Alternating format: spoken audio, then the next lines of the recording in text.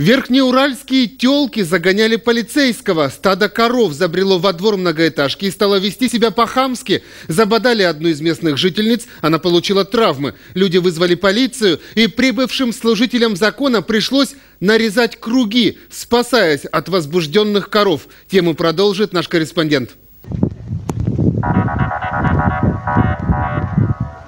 В Уфале местные жители наблюдают из окон и подъездов, как полиция пытается выгнать со двора стада агрессивных коров.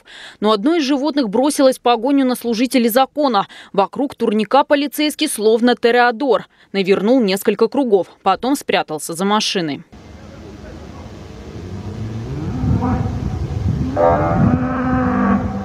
Стадо коров забрело сюда без пастуха. Видимо, хозяин отпустил их пастись самостоятельно. В итоге животные напали на женщину. Даме пришлось вызвать скорую помощь, но коровы заблокировали проезд машины медиков. Я ее решила отогнать.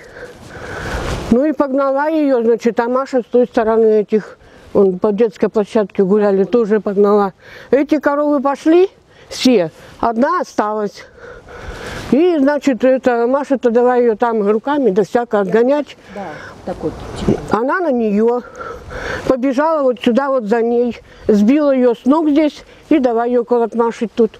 Чтобы прогнать дерзких буренок, вызвали полицию. Животных пытались отогнать сиреной, но коровы не сдавались. Мигалки, кажется, еще больше напугали их. Люди снимают и сами прячутся. В итоге служителям закона все же удалось прогнать наглых коров. Уходите все!